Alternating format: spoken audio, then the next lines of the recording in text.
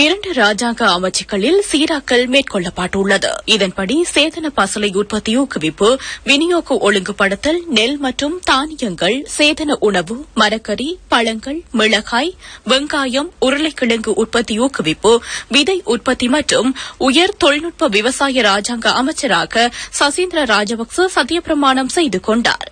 கரையோர பாதுகாப்பு மற்றும் தாழ்நில அபிவிருத்தி ராஜாங்க அமைச்சராக மொஹாண்டி சில்வா சத்தியப்பிரமாணம் செய்து கொண்டதாக ஜனாதிபதி ஊடகப் பிரிவு தெரிவித்துள்ளது.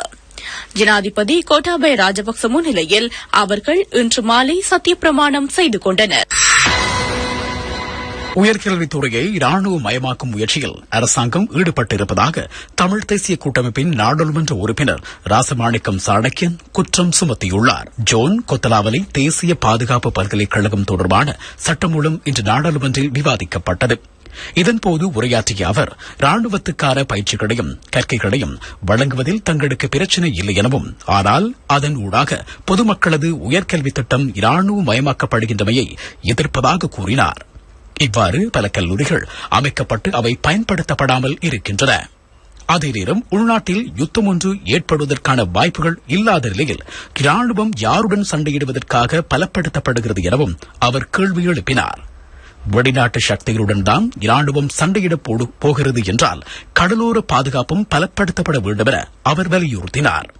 அவர் உரையாற்றும் போது ஆளும் தரப்பில் சிலர் அவருக்கு எதிராக தகாத வார்த்தையை பிரயோகித்திருந்த நிலையில் அதனை நாடாளுமன்ற பதிவேட்டில் இருந்து நீக்க வேண்டும் என கோரிக்கை விடுத்தார். இதேவேளை ஜோன் கொத்தலாவல பாதுகாப்பு பல்கலைக்கழகம் சட்டமூலத்தின் ஊடாக அரசாங்கம் சமூகத்தில் உள்ள சாதாரண பொதுமக்களுக்கும் ராணுவ சிந்தனையை ஊட்ட முயல்வதாக அகில இலங்கை தமிழ் காங்கிரசின் பொதுச் செயலாளரும் நாடாளுமன்ற உறுப்பினருமான கஜேந்திரகுமார் பொன்னம்பலம் தெரிவித்துள்ளார். சாதாரண பல்கலைக்கழகங்களின் சித்தாந்தம் வேறு. சுதந்திர சிந்தனைக்கு பொதுவான பல்கலைக்கழகங்களில் இடமளிக்கப்பட்டிருக்கும். ஆனால் ராணுவம் என்பது சாதாரண பொதுமக்களிலிருந்து வேறுபட்டது. பாதுகாப்பு பல்கலைக்கழகங்களில் ராணுவத்துக்கு உரிய சிந்தனைகளை விதைக்கப்படும். ஆனால் சமூகத்தில் சுதந்திர சிந்தனையே விதைக்கப்பட வேண்டும். இந்த சட்ட மூலத்தினூடாக ஜோன் கொத்தலாபலாப்பு கல்லூரியை விரிவுபடுத்தி ராணுவத்தில் தொழில் வாய்ப்பினை கூட விரும்பாத சாதாரண பொதுமக்களையும் உள்ளிருக்க வகை செய்கிறது என்று கஜேந்திரகுமார் பொன்னம்பலம் சுட்டிக்காட்டினார். இலங்கையில் கோவிட் நைன்டீன் நோயால் நேற்றைய தினம் நாற்பது பேர் மரணித்தனர். சுகாதார சேவைகள் பணிப்பாளரால் இந்த மரணங்கள் உறுதிப்படுத்தப்பட்டதாக அரசு தகவல் திணைக்களத்தின் அறிக்கையில் தெரிவிக்கப்பட்டுள்ளது. இவ்வாறு மரணித்தவர்களில் இருபத்தி ஒன்பது ஆண்களும் பதினோரு பெண்களும் அடங்குகின்றனர். முப்பதிலிருந்து ஐம்பத்தொன்பது வயதிற்கு இடைப்பட்டு பனிரண்டு பேரும் அறுபது வயதிற்கு மேற்பட்டு இருபத்தி எட்டு பேரும் கோவிட் நோயால் உயிரிழந்தனர். இதன்படி இலங்கையில் கோவிட் நைன்டீன் நோயால் மரணித்தோரின் மொத்த எண்ணிக்கை மூவாயிரத்து முன்னூற்று தொன்னூற்று ஒன்றாக அதிகரித்துள்ளது. கோவிட் நைன்டீன் தொற்றிலிருந்து மேலும் ஆயிரத்து நானூற்று ஐம்பத்து மூன்று பேர் குணமடைந்துள்ளனர். சுகாதார அமைச்சின் தொற்றுநோய் தடுப்பு பிரிவு அறிக்கையில் இந்த விடயம் குறிப்பிடப்பட்டுள்ளது. இதன்படி குணமடைந்தவர்களின் மொத்த எண்ணிக்கை இரண்டு லட்சத்து முப்பத்தொன்பதாயிரத்து ஐநூற்று எண்பத்து நான்காக அதிகரித்துள்ளது. இதேவேளை பசரை சுகாதார வைத்திய அதிகாரி பிரிவுக்குட்பட்ட பகுதிகளில் இன்றைய தினம் முப்பது பேருக்கு கோவிட் நைன்டீன் தொற்று உறுதியானது. உறுதியாக மேற்கொள்ளப்பட்ட பிசிஆர் பரிசோதனைகளின் முடிவுகள் இன்றைய தினம் கிடைக்கப்பெற்றன. இவற்றுள் முப்பது பேர் தொற்றாளர்களாக அடையாளம் காணப்பட்டுள்ளனர். இதில் பிலானிவத்தை பகுதியில் இரண்டு தொடர் குடியிருப்பு பகுதிகளில் மேற்கொள்ளப்பட்ட பரிசோதனைகளில் பதினோரு பேருக்கு தொற்று உறுதியானது இதனை அடுத்து குறித்த இரண்டு தொடர் குடியிருப்புகளும் தனிமைப்படுத்தப்பட்டுள்ளன. திட்டமிடப்பட்ட குற்றங்களை புரியும் இரண்டு குழுக்களின் இரண்டு பேர் கட்டுநாயக்க பகுதியில் கைது செய்யப்பட்டுள்ளனர். காவல்துறை விசேட அதிரடிப்படையினரால் குறித்த இரண்டு பேரும் கைது செய்யப்பட்டுள்ளனர். கைதானவர்களில் ஒருவர் மினுவாங்கொடை ஹீனடியக்கல நீல் என்பவருடைய சகோதரரான ஜொய் எனப்படும் ருக்மல் வசந்த என காவல்துறை விசேட அதிரடிப்படை தெரிவித்துள்ளது. கைதானவர்களிடமிருந்து வெளிநாட்டில் மற்றும் உள்நாட்டில் தயாரிக்கப்பட்ட துப்பாக்கிகள் கைப்பற்றப்பட்டுள்ளன. மட்டக்களப்பு கல்முனை பிரதான வீதியின் கழுதாவளையில் இன்று இடம்பெற்ற வீதி விபத்தில் மூன்று பேர் காயமடைந்துள்ளனர். கழுதாவளையிலிருந்து களுவாஞ்சிக்குடி நோக்கி படைத்த உந்துருளி ஒன்றும் கல்லாறு பகுதியிலிருந்து மட்டக்களப்பு நோக்கி படைத்த உந்துருளி ஒன்றும் மோதியதில் இன்று மதியம் இந்த விபத்து இடம்பெற்றுள்ளது. சம்பவத்தில் காயமடைந்த பெண் ஒருவர் உட்பட மூன்று பேர் களுவாஞ்சிக்குடி ஆதார வைத்தியசாலையில் அனுமதிக்கப்பட்டுள்ளனர். களுவாஞ்சிக்குடி போக்குவரத்து காவல்துறையினர் விசாரணைகளை முன்னெடுத்துள்ளனர்.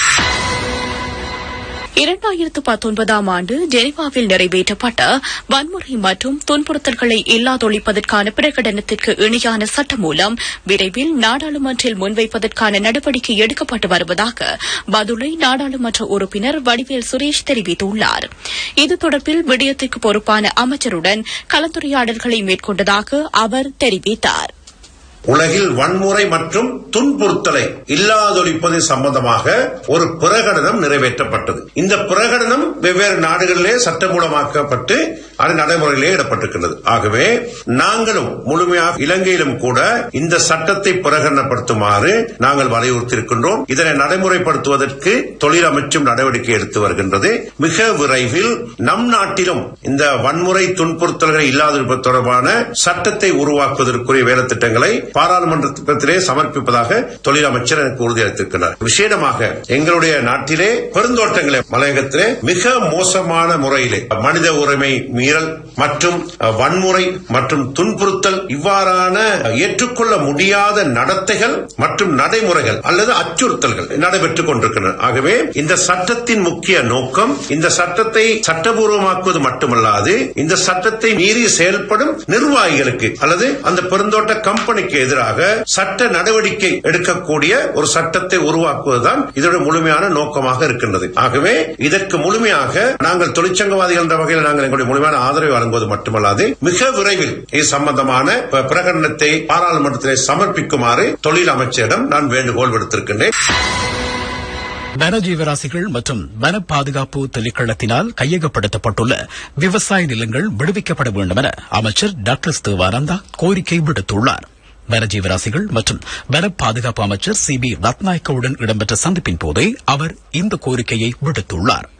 வடமாகாணத்தில் தற்போது வனத்துறையினரால் கையகப்படுத்தப்பட்டுள்ள ஆயிரக்கணக்கான ஏக்கர் காடுகளில் யுத்தத்திற்கு முற்பட்ட காலப்பகுதியில் விவசாய நடவடிக்கைகள் மேற்கொள்ளப்பட்டமையினை அமைச்சர் டாக்டர் தேவானந்தா துறைசார் அமைச்சர் சி பி ரத்நாயக்கவுக்கு தெளிவுபடுத்தியுள்ளார். அத்துடன் குறித்த காடுகளில் விவசாய நடவடிக்கைகளை மேற்கொள்வதற்கு வடமாகாண விவசாயிகள் ஆர்வமாக இருப்பதாக சுட்டிக்காட்டிய அமைச்சர் குறித்த பகுதிகளில் விவசாய நடவடிக்கைகள் ஆரம்பிக்கப்படும் பட்சத்தில் அரசாங்கத்தின் சுபிட்சத்தின் நோக்கு வேலை திட்டத்தினை விரைவுபடுத்த முடியும் எனவும் தெரிவித்தார். அதேபோன்று வடக்கு கிழக்கு பிரதேசத்தில் ஏற்றுமதி தரத்திலான நண்டு ரால் மீன் வளர்ப்பு பண்ணைகளை உருவாக்கி நீர் வேளாண்மையை விருத்தி செய்ய வேண்டியதன் அவசியம் குறித்து அமைச்சர் டாக்டர் தேவானந்தா வலியுறுத்தியுள்ளாா் இந்த விடயங்களை ஏற்றுக்கொண்ட அமைச்சர் சி பி ரத்நாயக்க சம்பந்தப்பட்ட அதிகாரிகளுடன் கலந்துரையாடி தேவையான நடவடிக்கைகளை மேற்கொள்வதாக தம்மிடம் உறுதியளித்ததாக கடற்றொழில் அமைச்சர் டாக்டர் தேவானந்தா தெரிவித்துள்ளார். இந்த செய்தி உள்ளிட்ட மேலதிக உள்நாட்டு செய்திகளுக்கு W W W dot Sooriyan FM news dot LK என்ற எமது இணையதளத்துக்கு பிரவேசியுங்கள்.